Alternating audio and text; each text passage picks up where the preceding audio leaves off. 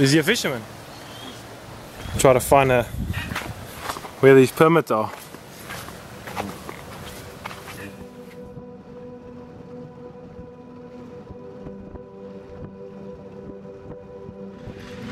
We want to ask you, want to show you a picture of a, fish. And then if you can just show us on the map where, where you think that fish might be. Just a quick. It was up here. This area, yeah.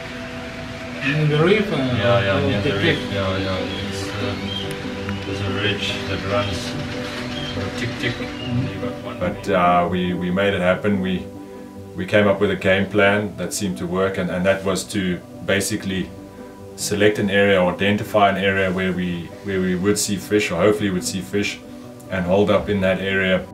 Indo Pacific permit, you wade fishing. There's no chance you can scout areas with a boat, which we do sometimes. You can scout areas which look good, but you can't get near them with a motor. I mean, within within any any close radius, if that fish hears the boat, he will get out of there. Permit on a good day are, are, are pretty difficult to catch.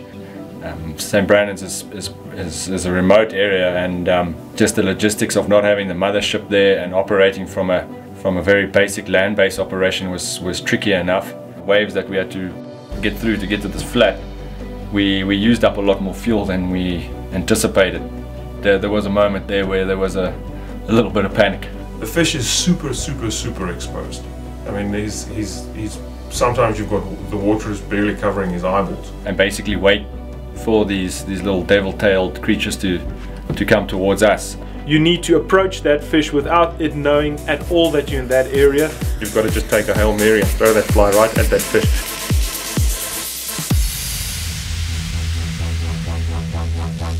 basically a proverbial fin showing us a finger.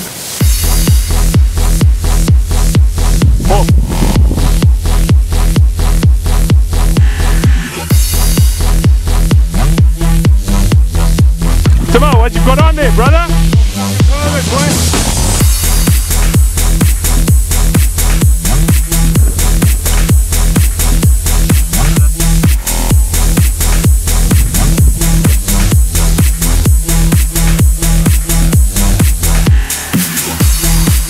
Is it permit?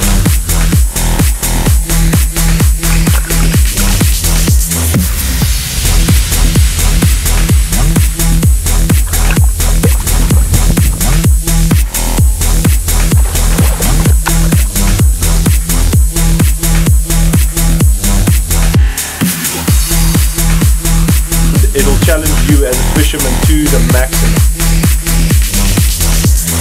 So you you got to have your game together.